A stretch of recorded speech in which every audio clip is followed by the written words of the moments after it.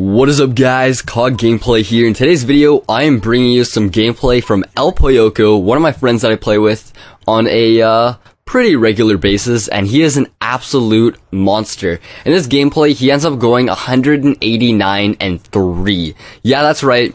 189 and 3. That is crazy. This guy is an absolute monster. And in this gameplay, I'll cut it into two parts. So the first part, he goes 90 and 1 in the first round.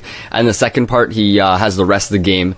But what I want to talk about in today's video, because, you know, I hit, I just hit 100,000 subscribers. And I was like, you know what? I think I have the authority to uh, help people on how to actually be, like, get a bigger channel. I'm always, always getting personal messages, tweets, everything saying, COD gameplay, how exactly do you grow your channel? How do you get yourself bigger? How do you get yourself seen? And so, with that being said, I'm gonna start out with the very, very basics, and then in the second part of the video, I'll go expand more, and then I'll probably have a third part where I expand even more. So starting off, if you want to get a large channel, you have to start off knowing that you can actually do it, okay? You have to realize that you have the time, you have the money, and you have the what what it takes to actually grow a YouTube channel to a large audience. So the first thing that you're going to be have to do is going to have to create an account. And now this account is what you're going to go by on YouTube. So do not do not make it childish.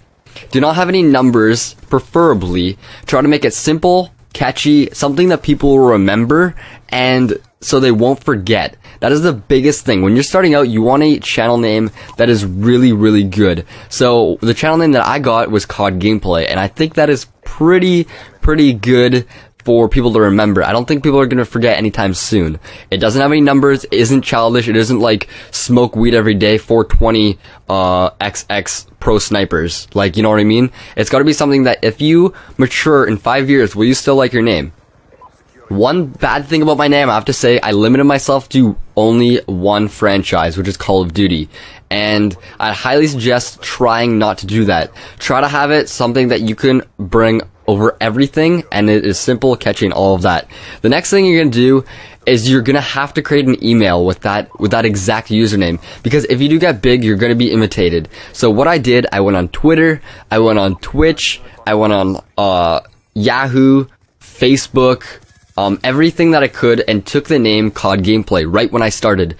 The worst thing that I did, I didn't take COD Gameplay Gmail or Hotmail. And guess what happened?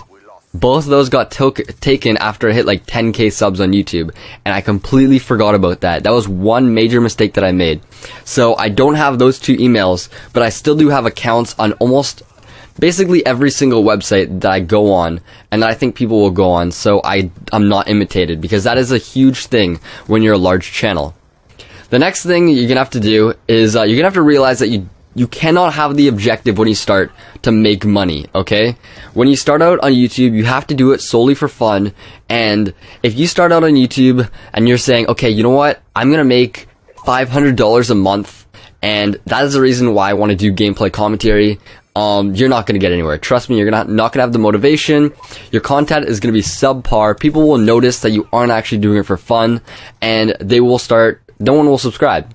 It's it's not how you should present your channel. You should present your channel as a way, a place that you always have fun because that is what you should be doing.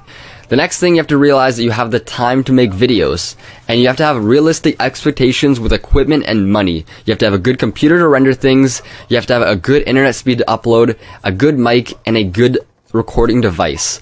All of those things are super, super key. People will create channels and they have a 0.1 upload speed. Do not do that. People will create channels when they have a computer that can barely run any video games on it. Do not do that because what's gonna happen? You're gonna take four hours for an upload. No one wants to do that. You can't do anything on the internet when you have a four hour upload. And when you have a four hour render time, it is absolutely ridiculous rendering overnight and it's not enjoyable. Trust me, I've been there, done that. I had to upgrade my computer twice.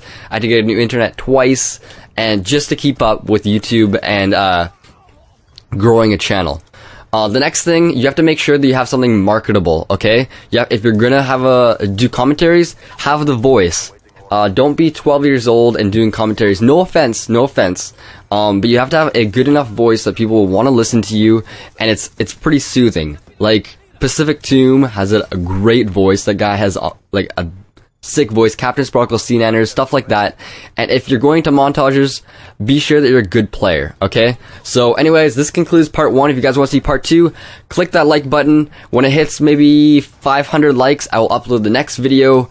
And I hope you guys enjoyed. If you guys are brand new to my channel, don't forget to hit that subscribe button above.